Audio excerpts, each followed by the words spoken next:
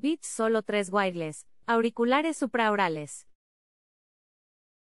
Me compré estos porque tengo un montón de años con unos Beats Studio Dr. Dre con cable y quería unos inalámbricos. No están mal, pero para el precio que tienen son una basura.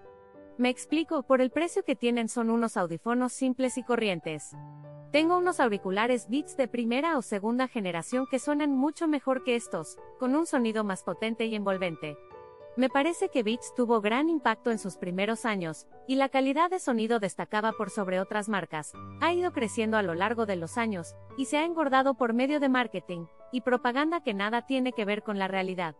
Si quieres unos audífonos para ir de pavo, y presumir de que tienes pasta, y no te compraste unos de 10 euros, estos son para ti. Ofrecen poco más que unos AirPods.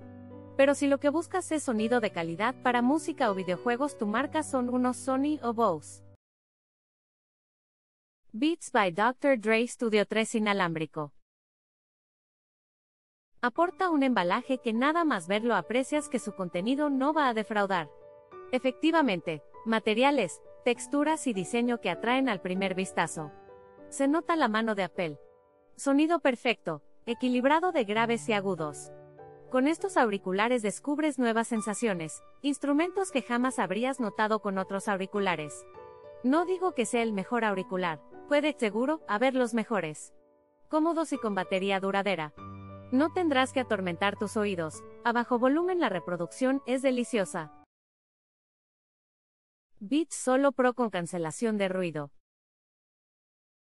Experiencia unboxing en cuanto quitas el plástico protector de la caja, tienes que quitar deslizando la primera capa de la caja, la cual detalla las características e indica el color de los auriculares. En cuanto sacas esta capa, Queda una caja de cartón muy sólido en color negro, que se abre en forma de origami, desplegándose hacia los lados revelando, en primer lugar, la funda semi-rígida con los auriculares dentro y, posteriormente al desplegar la siguiente doblez, te encuentras con las instrucciones, el cable USB y una carabina.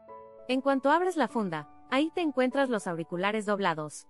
Al sacarlos y desplegarlos, gracias al chip de Apple con el que cuenta, si tienes un iPhone o iPad, al lado, el dispositivo los detectará automáticamente y los añadirá a tu cuenta de iCloud para poderlos utilizar con todos tus dispositivos, incluso con el Apple Watch.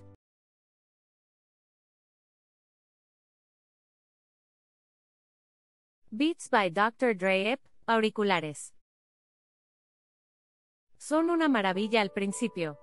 No son los mejores por ese rango de precios, pero para el estilo de música que escucho, house techno, Future House, van al pelo por los graves tan fuertes que tienen.